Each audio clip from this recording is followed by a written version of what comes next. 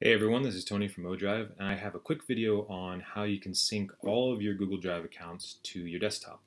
So ODrive allows you to connect as much storage as you want, uh, including as many Google Drive accounts as you want. That's all for free. So a lot of folks tend to want to link more than one of a certain type, and Google Drive seems to be a pretty popular one. So I'm going to go through that real quick. You can see that I have uh, Google Drive already linked here, that's because I use that account to create my ODrive account and it automatically linked the storage. So if I want to add additional Google Drive accounts, I can click on Link Storage, click on Google Drive, Authorize.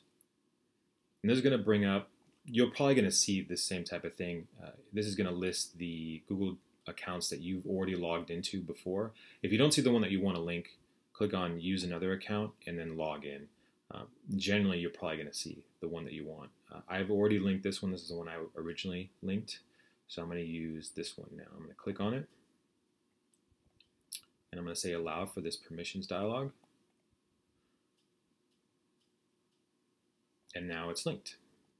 And if I go to my desktop client, this would show up automatically uh, after a little bit, but I'm just going to force a refresh so we see it right away. And you can see now I have Google Drive number two here. And you can also rename these if you want. There's a uh, re, uh, edit option which allows you to change the name if you want, just to give it more context, especially if you have lots and lots of, uh, of the same type of storage in here. I'm going to link another one just to show you that you can keep doing it if you want. This time I'm going to link this account, click on it, same process.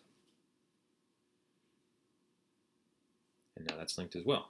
If I go to the desktop client, refresh, there's Google Drive number three. I can click into it, and it has the data that you expect. And that's it. So you can continue to do that as long as you want, as, for as many Google Drive accounts as you have. Um, the same applies to every other storage, but Google Drive is, as I said, one of the most commonly requested ones. So I wanted to make this quick video for the folks that are wondering how to do that. I hope it was helpful, and I hope you have a great day. Thanks for watching.